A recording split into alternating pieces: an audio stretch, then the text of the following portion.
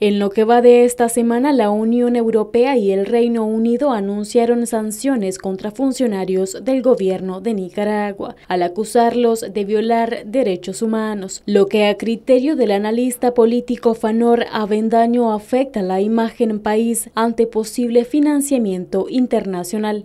No podemos admitir que son sanciones personales, como dicen algunas expresiones políticas, que no afecta al país, que no afecta el comercio, que no afectan las donaciones, totalmente falso lo considero.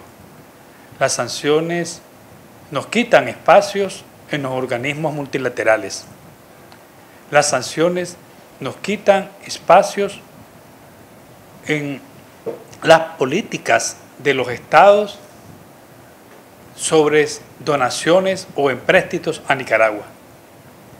Las sanciones afectan la imagen país, la marca país, y por lo tanto afecta la inversión de grupos financieros, inclusive de inversionistas privados nacionales, porque estos tienen el temor que estas sanciones puedan contaminar y produzcan efectos multilaterales y estos efectos podrían ocasionar grandes pérdidas a esa inversión.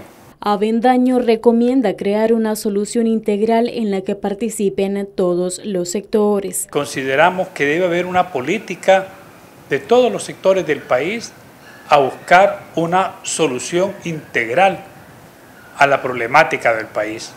Debe hacernos reflexionar a todos, incluyendo al gobierno, como primer actor, a los sectores económicos, a los sectores políticos, y no cansarnos nunca de persuadir por una política de entendimiento nacional y un acuerdo que nos lleve a establecer un marco legítimo de elecciones para que sea el pueblo nicaragüense, por medio de los votos, el que decida qué sistema político qué gobierno y qué estrategia para el desarrollo va a asumir para los próximos cinco años después del año 2021.